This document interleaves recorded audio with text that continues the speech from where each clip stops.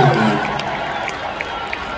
I don't know if you guys are like me at all, but I spend a lot of time watching the news, and I've been watching a lot of stuff that's been happening around our nation and stuff that's been happening overseas.